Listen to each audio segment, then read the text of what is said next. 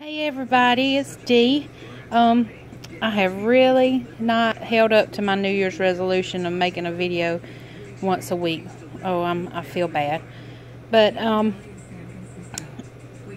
I've got some Happy Mail I need to um, record, and but I had this right here, and I was fixing to go put it up, and I said, well, I can do a video on this. So I had a yard sale because our um, neighborhood had a community yard sale, and usually I just donate everything to the hospice store.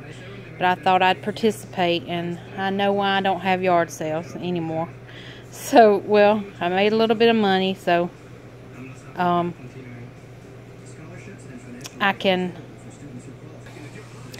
Okay, so I had to stop the video for a minute. Um, so I went to Michael's because they're having this awesome 70% off sale. And I had seen this the other day, and it's a paint holder that you put over your door. And so I used my 50% coupon. They're $19.99. Then they had these um, um, beads for 99 cents. So I thought those would be cute for chunky charms. And then I've been wanting to make cards with bunnies, but I couldn't find a bunny punch.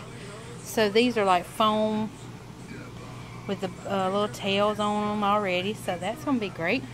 I'm just going to make me some earrings. And those are earring holders like uh, clip-ons. And then you can make your own beads to hang down. And then just a bunch of paint because you get six for $1.99. So it's 33 cents a piece. So I'm going to go get some more. And, uh, but that's my little haul. And I just wanted to say hello to everyone and um, hope y'all having a good day. See you later. Bye.